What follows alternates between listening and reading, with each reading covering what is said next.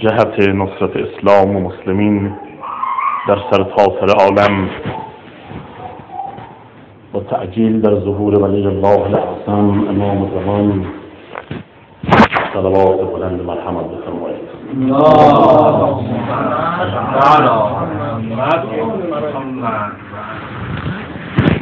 حسبنا الله ونعم الوكيل نعم المولى ونعم النصير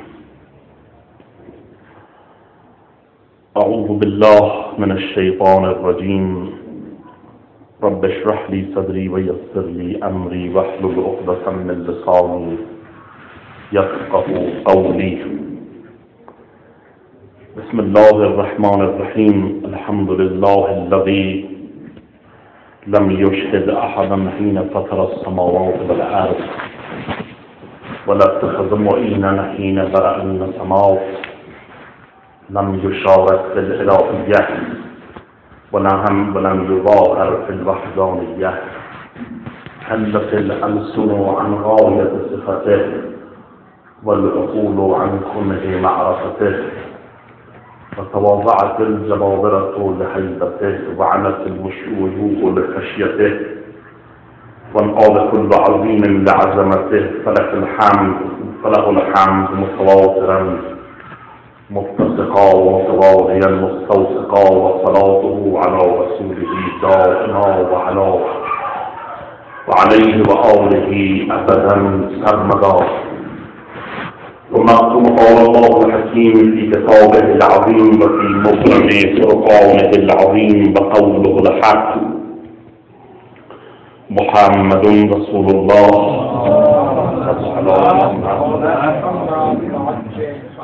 والذين معه أشداء على الكفار ورحماء بينهم تراهم ركعا سجدا يبتغون فضلا من الله ورضوانا سيماهم في وجوههم من أثر السجود. ذلك مثلهم في التوراة ومثلهم في الإنجيل كزرع أخرج شطأه فآزره فاستغلظ فاستوى على سوقه. يعجب الزراع ليغيظ بهم الكفار.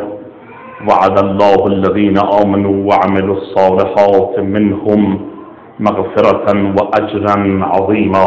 صلوات الله قبل الآغاز گونه کلامی إن شاء الله که خداوند بزرگ این مجلس را که از طرف صدیق اجمن جناب آقای دکتر موسوی حفظه الله برگزار شده است. مورد قبولش به نحو احسن قرار بدهد و ثواب این محفل و مجلس را به روح بازماندگانش و خصوص ابوی بزرگوارش آید واصل فرماید. صلوات بیر بلند سر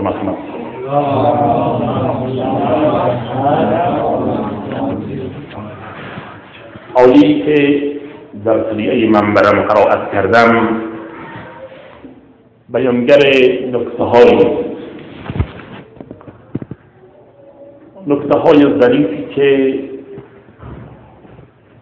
در این ایام و در این ایام معرفتی در این سالها کمتر مورد توجه است در قرآن میخوانیم محمد رسول الله والذين معه أشداء على الكفار ورحماء بينهم.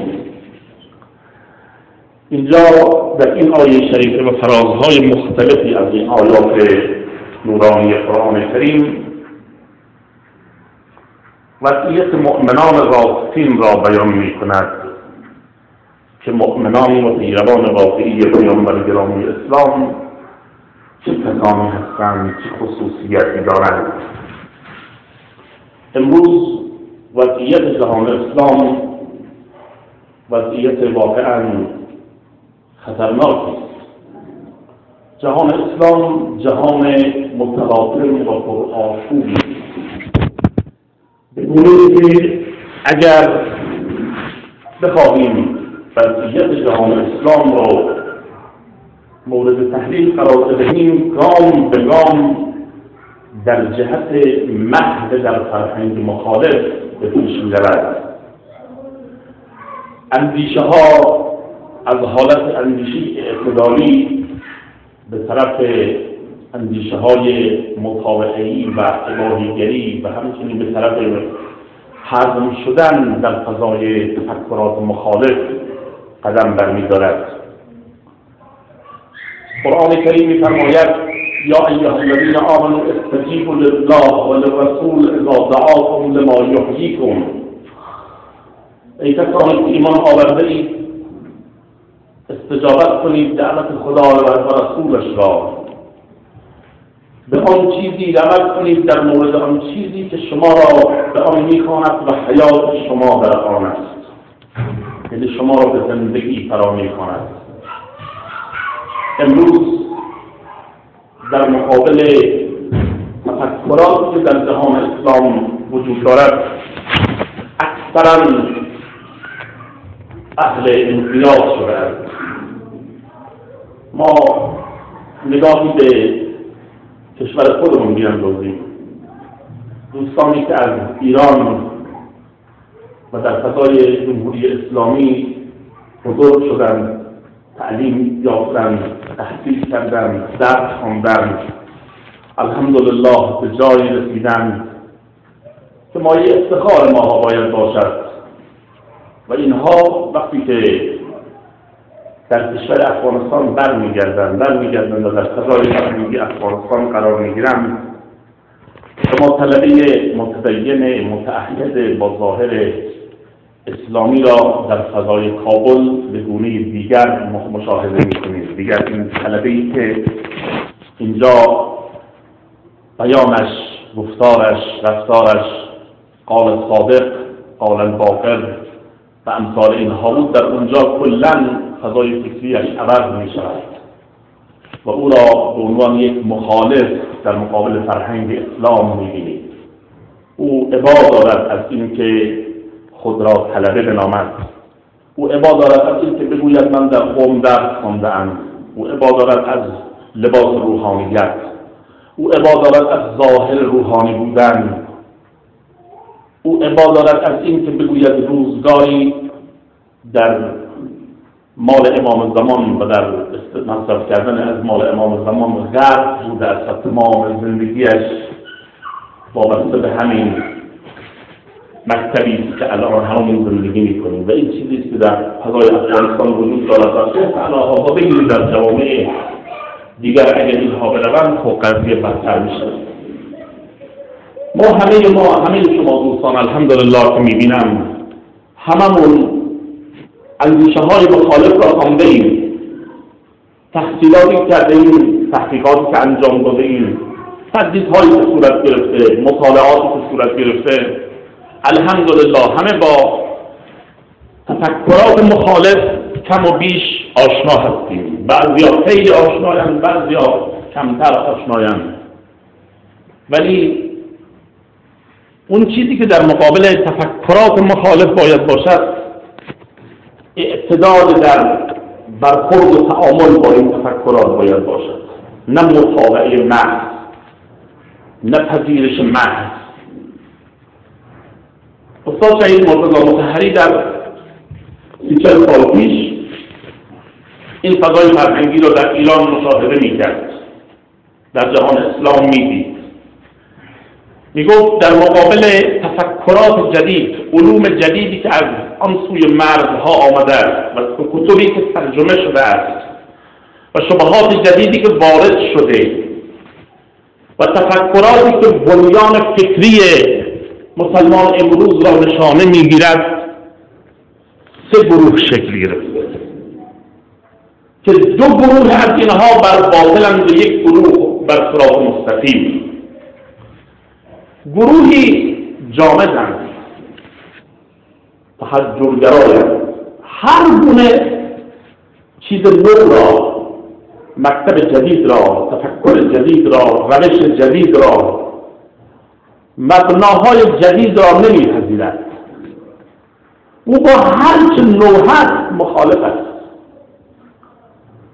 او فقط اسلام را اسلامی می‌بیند که با جهان بیرون سرکار ندارد. اسلامی که فقط نگاه کند بدون اینکه به فضای فکری اطراف توجه داشته باشد سر ببرد در کتب در قرآن و سنت های معروف و مصطلحی که در حوزه ها وجود دارد و این هم به چیزی فکر نکند و فقط همین ها رو مطالعه کند و تمام دنیا و آخرت را بر اساس همین ها ببیند. و هیچ کاری به مقتضیات زمان و مکان و وجود اندیشه های مخالف و تفکرات جدید و امثال اینها نداشته باشد. این گروه متحجرند جامدند. اینها اسلام را فقط در همین چارچوبی که بدون نیاز یعنی اسلام را در همون محدودیت خاص خودش می‌بیند. اسلامی که برای بشر امروز نیست. اسلامی است که در همون کوچه پس کوچه های عربستان باید دیده شود و بدون اینکه حتی اطراف عربستان رو ببینند فقط تفکر بسیار سطحی از اسلام باشد. اینها تفکر جامدی که منجر می شود اسلام نتواند گفتمان معرفتی با ادیان و مذاهب دیگر با ادیان و تفکرات دیگر داشته باشد. یعنی بگونه عملا مخالف اون جامعیت اون خاتمیت اون جهانی بودن اسلام اسلامی محدود شود بدون اینکه تفکرات دیگر را مد نظر قرار بدهد اسلام در چارچوب همون چارتیواری جوامع اسلامی و غیر از اون دیگر نباید اون رو دارای کاربرد یافت یک عده هستند جاهلند گروه اول جامدند گروه دوم جاهلند جاهل به منابط اسلامی. یا اینکه عالما ظاهرا خیال می‌کنند که عالما در حالی که جاهلند اینها وقتی تفکرات جدید رو ببینند گر می‌گیرند به اصطلاح ایرانی ها.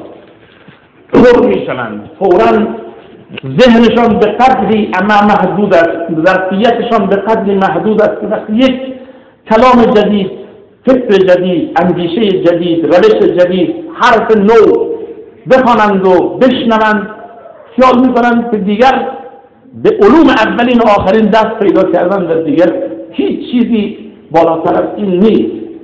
و حقیقت را در همون چیزی که جدیدن یافتن می‌بینند و غیر اون رو نمیپذیرند و پشت پا می‌زنند به هر چه تفکر اسلامی اصیل است و به داشته های هویتی خودشان و اسلامی خودشان و این چیزی است که امروز ما شاهدیم. چیزی که در جامعه امروز ما ای از دوستان من و شما ای از کسانی که می‌شناسیم.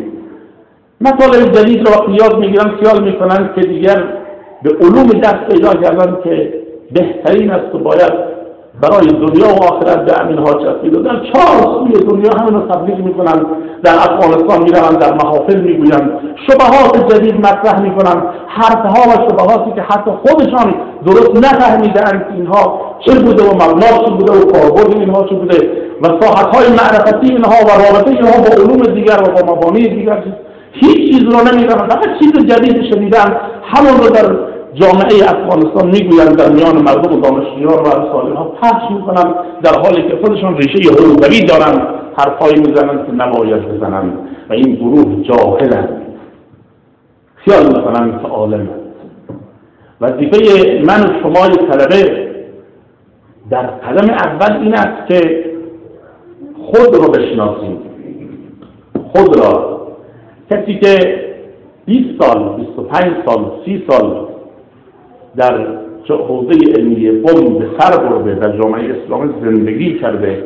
هست و قبولش زندگیش سرمایه عمرش همش در حوزه علمی قوم بوده. یک دفعه واردی فضای آزادتری بشود و دنیا و آخرت خود را پشت پا بذارن و حرفهایی بزنن که خودش هم درست متوجه نیست. که واقعا چه حرفایی و من اون سال که کابل رفته بودم دیدم. و الان بعضی دوستان هم از رفقا و شاگردا و سالمت صحبت می‌کنم میگن که فلانی فلانی فلانی فلانی این حرفا رو می‌زنه من تعجب می‌کنم دوستانی که با هم بودیم جلساتی داشتیم رابطه دوستانه با هم داشتیم. خب اینها چرا باید اینجوری باشند من می‌خوام این عرض بکنم که با یک برادر کوچیک نسبت شما دوستانی که همان سرکار داریم با این دوستان. ما اون اصالت خود رو اون اصالت طلبگی خود رو باید حفظ کنیم. در هر شرایطی حفظ اصالت طلبگی نشانه شخصیت انسان است. انسان باید در رابطه خود اهل اعتدال باشد و سومین گروه همون گروه معتدل معتدلان هستند. اینها کسانی هستند که مبانی اسلامی را آن که باید شناختند. به حقانیت دین اسلامی آن گونه که باید ایمان دارند. در دل خود ایمان واقعی دارند. اونها دوست دارند که این اسلام اسلام محدود در چهار دیواری مسلمانان مصطلح امروزی نباشد بلکه اسلام باشد که تفکرات مخالف را به معارضه بطلبد از ظرفیت های اونها استفاده کند و به شبهات اونها با قدرت پاسخ بگوید. این اسلام اسلام معتدل است اسلامی که دایه دارد که در مقابل حجمه های سنگین تفکرات مخالف قد راه می کند استوار می و حرف خود را و قیام خود را به گوش جهانیان می رساند این اسلام اسلام واقعی و اسلام اعتدالی. نه اسلامی که یا منقاد محض و پیرو محض غرب باشیم و یا اینکه متحجر جامد باشیم و حرف جدید رو نبینیم اسلام اسلام اعتدالی. شما نگاه کنید الان اینجا در بحث همین آیاتی که در آغاز من برم قرائت کردم خوب دقت کنید. محمد رسول الله.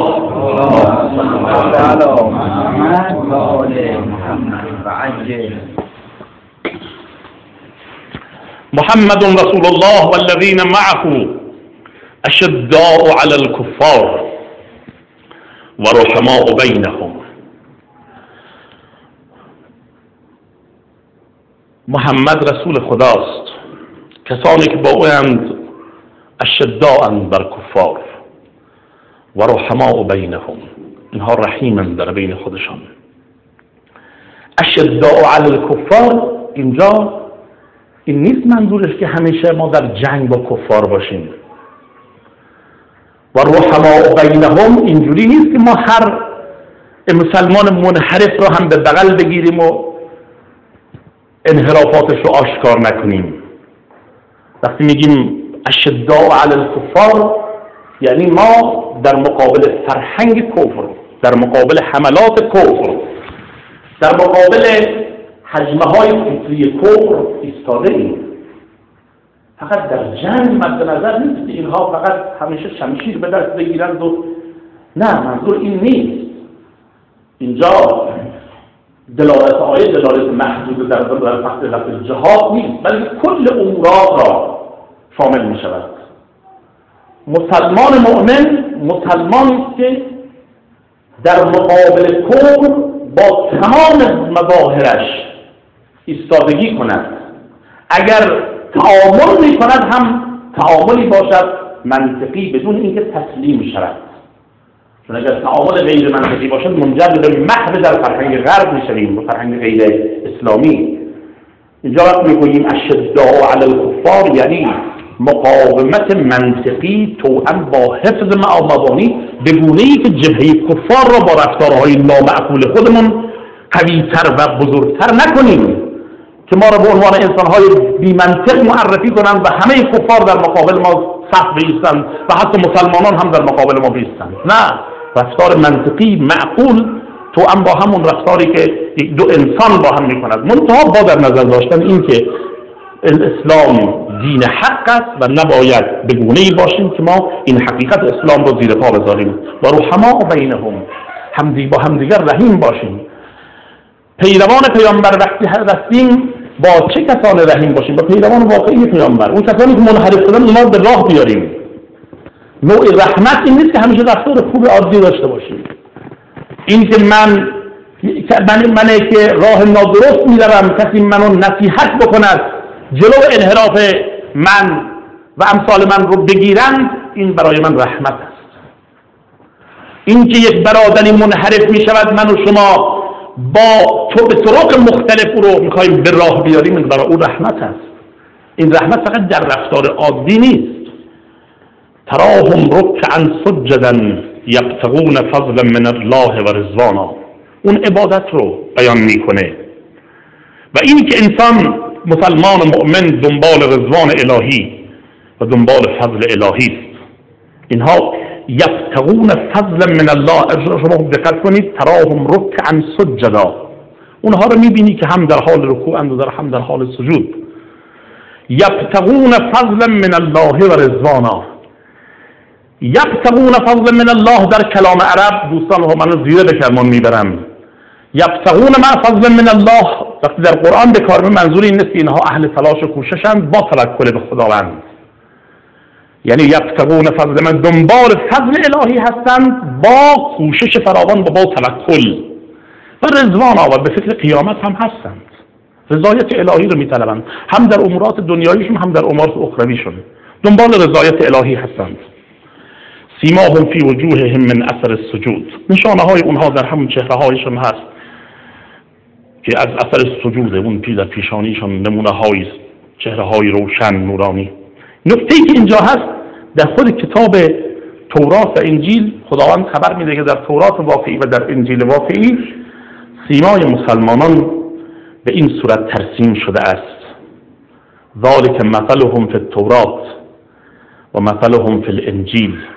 این مسلمان هایی که اشاره کردیم اینها ما مثلشون در تورات و انجیل به این صورته. کزرع مانند زراعتی اخرج شطعه که جوانه های این زراعت بیرون زده بیرون آمده. اخرج شطعه فآذره و قوی کرده اند آن را و قوی شده است. این این و این جوانه قوی شده است. فاستغلظه استوار شده. این جوانه هایی که از زراعتی که بیرون آمده این جوانه ها محکم و مستحکم شده. فاستوا علی سوقه بر پای خود ایستاده است. یعنی خوب دقت کنید مسلمان واقعی که زرع اخرج شطعه فآذره فاستوا فاستغلظ فاستوا علی سوقه به پایه های خود ایستاده است. اینها متکی به خود هستند.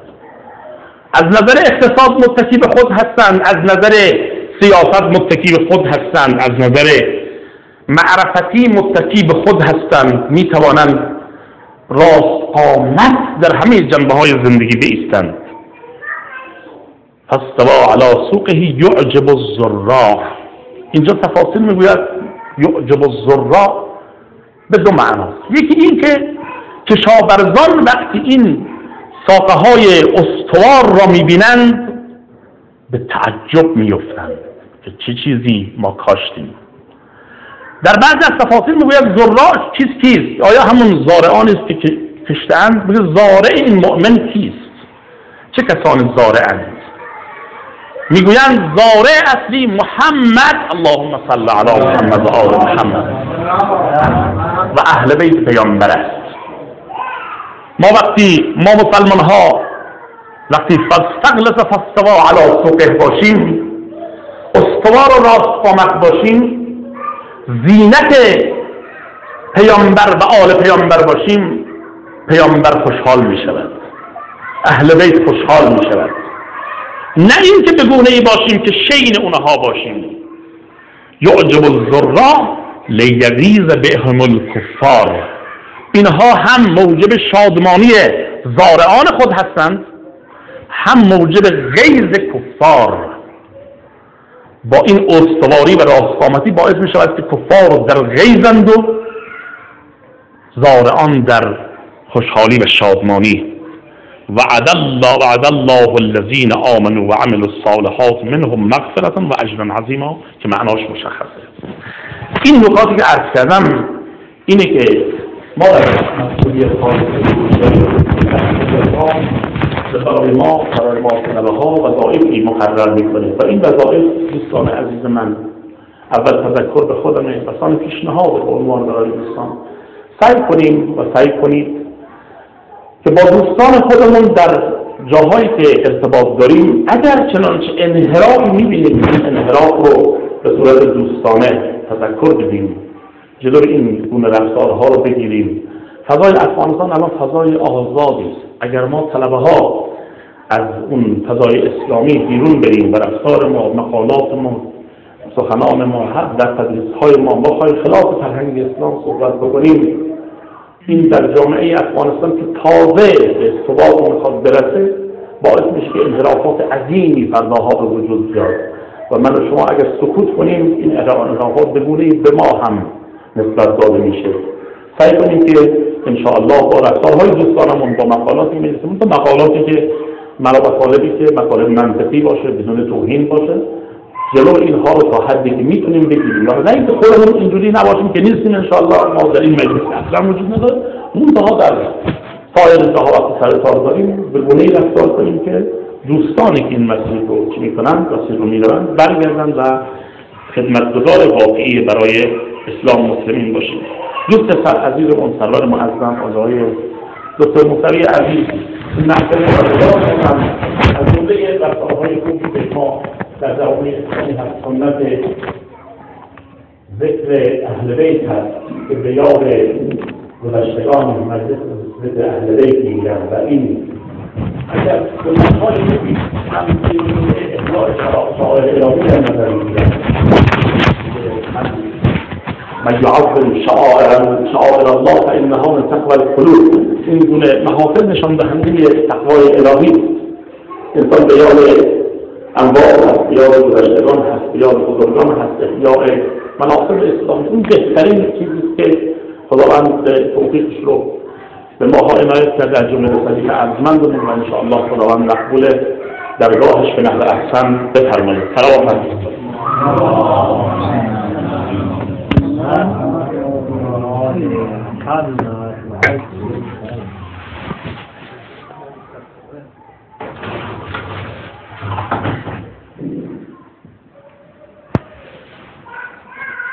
جمله مطالبی که در این گونه مجالس گفته میشه در آغاز مقدمه روزه خوبترین حالتش میگن توسل به امام زمان حجت ابن الحسن.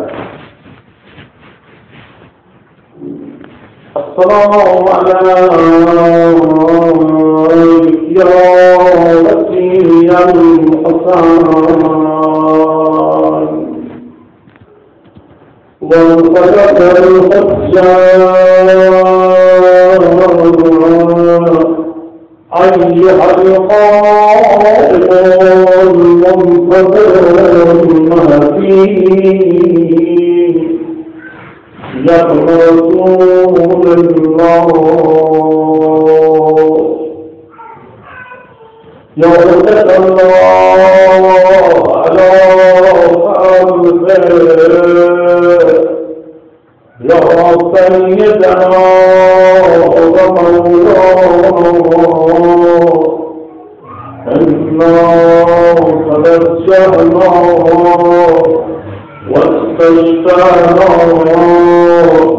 وتوسلنا بك إلى الله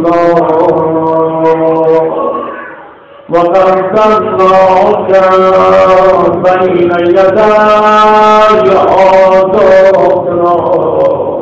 يا بديعا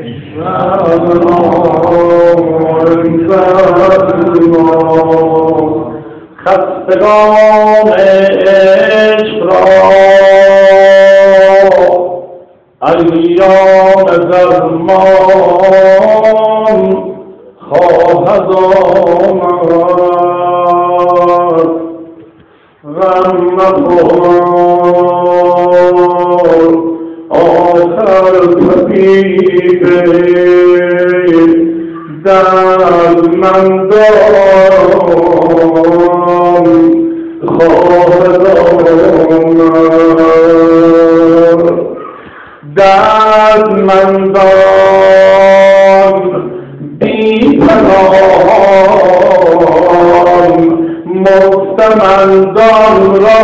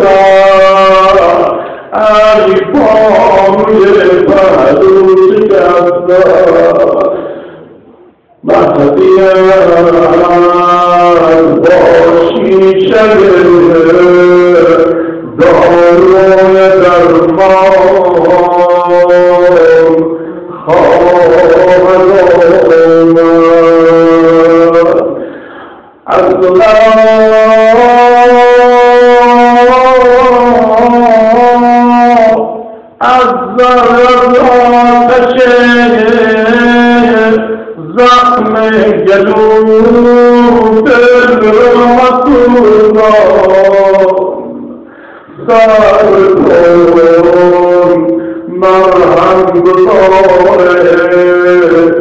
کن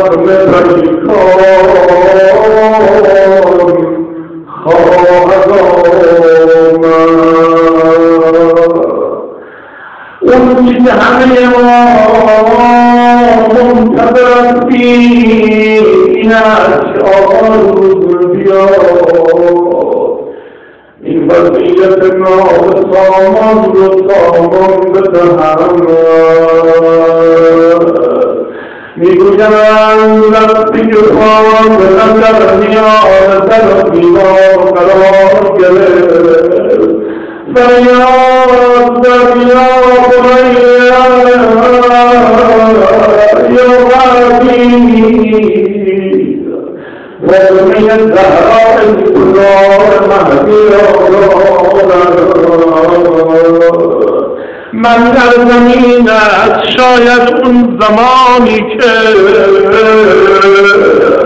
اون زمانی که امام لا یوم یوم الله اون زمانی که امام حسین در قتل را افتاده بود وقتی دستور داده شد که خیمه های این مرد رو افغان کنید خیمه ها رو آتش بزنید می‌گوید اینجا حسین با نیمه جان با جانه که در آستانه بیرون آمدن بود کم بود که شهید بشود میگن بانی با حالت نیمه جان خود را کشید می‌گوید زاید اون زمان هم فریاد زده باشد و فرزندش مهدی را به کمک طلبیده باشد را امام فریاد زد ویلکم یا شیعت آل ابی سفیان ان لم یکن لکم دین و کنتم لا تخافون الناس أسرارا في دنياكم اینجا امام فریاد زد اگر دین ندارید یا اقل جوان مرد باشید ما هم عرض می‌کنیم یا امام من یه چند سال پیش کربلا مشرف شدم وقتی این پیاده رو را به سوی کربلا دیدم لحظه ای نشسته بودم استراحت می کردم پاهایم آبله زده بود در مسیر نجف تا کربلا. نشستم اینجا جمعیت انبوه رو دیدم. مشتاق مشتاق اشتیاق فراغان گریه کنم. ذکر گویان به سوی کربلا می روند صدا خدا را به یاد روز آشورا افتادم که امام حسین سر به نیزه بی کسی تکیه داده بود فریاد می‌زد هل من ناصر ینصرنی گفتم خدایا چه می‌شد؟ این جمعیت عظیم در اون روز می بودند فرزند زهرا یا این کلمه بزرگ می لا لعنة الله على القوم الظالمين وسيعلم الذين ظلموا أي منقلب ينقلبون from the. نسألك اللهم ونسألك باسمك العظيم الأعظم الأعظم الأجل الأكرام بفاطمة أبيها وبعدها وأميها وسر المقتل فيها بدماء الشهداء يا الله يا الله يا الله يا الله يا الله يا الله